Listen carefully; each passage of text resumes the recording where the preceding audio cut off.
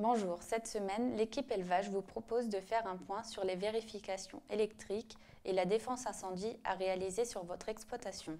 Comme vous avez pu le voir récemment au travers de plusieurs articles de l'agriculteur de laine, toute activité agricole est soumise au respect des prescriptions techniques qui, selon la nature, la taille de l'exploitation et l'impact des risques, relèvent soit du règlement sanitaire départemental, RSD, soit de la législation des installations classées pour la protection de l'environnement, ICPE. Dans le cadre des ICPE, l'exploitant s'engage à respecter les prescriptions techniques applicables à l'installation concernée. Deux postes sont à faire contrôler périodiquement, les installations électriques et la défense incendie.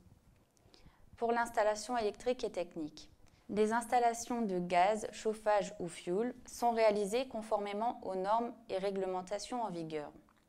Les installations sont vérifiées par un professionnel au moins tous les 5 ans ou tous les ans si l'exploitant emploie des salariés ou stagiaires. Les rapports de vérification et les justificatifs de réalisation des travaux recommandés suite à la vérification sont à conserver en cas de contrôle. Pour la lutte contre l'incendie, l'exploitant dispose de moyens de lutte contre l'incendie adaptés au risque. La protection contre l'incendie peut être réalisée par une borne ou une réserve d'eau type géomembrane ou poche, qu'elle soit privée ou publique. La protection interne peut être assurée par des extincteurs portatifs. Il est nécessaire de choisir en fonction du risque. Par exemple, pour le stockage de fioul ou de gaz, il est préférable de choisir un extincteur portatif à poudre polyvalente de 6 kg. Ou, à proximité des armoires ou locaux électriques, on favorisera un extincteur portatif de type dioxyde de carbone de 2 à 6 kg.